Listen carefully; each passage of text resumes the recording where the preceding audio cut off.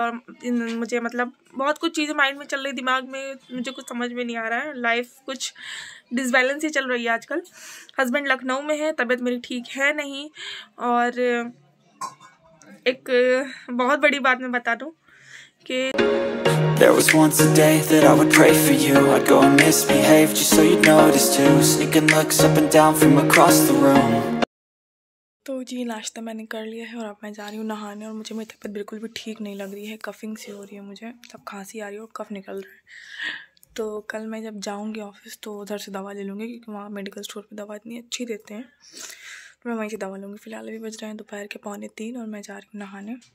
नहा के सबसे पहले धूप में बैठेंगे, थोड़ी देर बहुत ज़रूरी है और मैंने गर्म कपड़े निकाले हुए हैं, उनको भी धूप दिखा देंगे। चलिए फिर नहा के मिलते हैं। सो so, आप मुझे देख रहे होंगे कि मैं तो नहाने गई थी लोकेशन चेंज हो गई। तो मैं बता दूँ नहाने में गई थी दो दिन पहले। जो ब्लॉग आपने देखा आ, वो था दिवाली का तीसरा दिन यानी कि तेरह चौदह तारीख को। तो मैं बता दूँ उस दिन नहाने के बाद मेरी तबीयत मतलब मैं ख़राब हो गई कफिंग इतनी ज़्यादा हो गई थी। और हस्बैंड भी जा ही चुके थे मेरे तो मुझे कुछ भी अच्छा नहीं लगा था इसलिए मैंने ब्लॉग नहीं बनाया। और नेक्स्ट डे मैं ऑफ़िस गई। और मैं ऑफ़िस गई तो वहाँ जाके मुझे वॉमिटिंग हो गई। और मुझे काफ़ी चक्कर आते तो इसलिए मैं बस तीन चार घंटे ऑफ़िस में रुकी उसके बाद वापस चली आई। मुझे कुछ समझ ही नहीं आता मैं क्या करूँ, ये बात है कल की। तो कल मैं ऑफ़िस गई थी और आज मैं नहीं गई क्योंकि मुझे बहुत ज़्यादा तबीयत कफिंग लग रही थी और मुझे मतलब बहुत कुछ चीज़ें माइंड में चल रही, दिमाग में मुझे कुछ समझ में नहीं आ रहा है। लाइफ कुछ डिसबैलेंस ही चल रही है आजकल। हस्बैंड लखनऊ में है, तबीयत मेरी ठीक है नहीं और एक बहुत बड़ी बात मैं बता दूँ कि जॉब मैंने छोड़ दी है अपनी। जस्ट बिकॉज़ के हस्बैंड नहीं है तो मुझे आना जाना मतलब थोड़ा सा खल रहा है। और मैं एक जनवन बात बताऊँ तो मैं रह नहीं पा रही हूँ। मुझे कुछ अच्छा नहीं लग रहा है, इसलिए मैंने जॉब छोड़ दी है। तो फ़िलहाल अभी ये जो घर है, ये है मेरी नानी का घर, यानी मेरी आंटी का घर, डिप्टी पड़ाओ मैं आज यहाँ आई हूँ।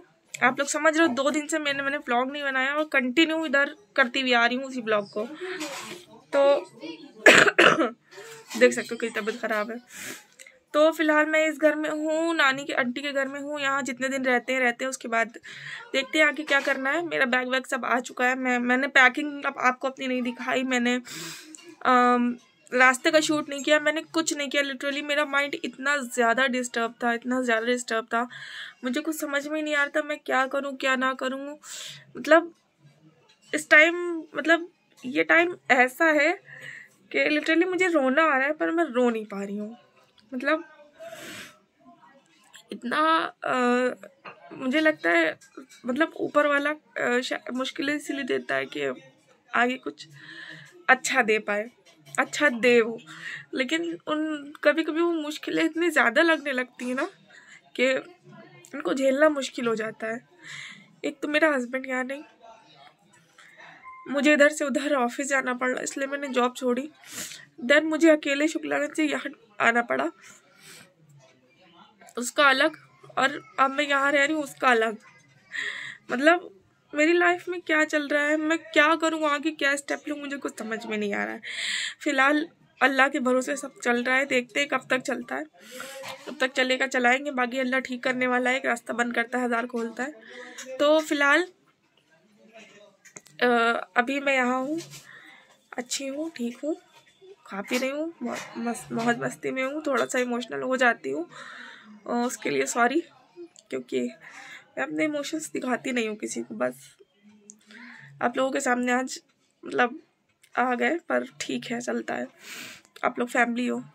तो फ़िलहाल अभी मैं यहाँ खा पी रही हूँ, मस्त गेम खेल रही हूँ।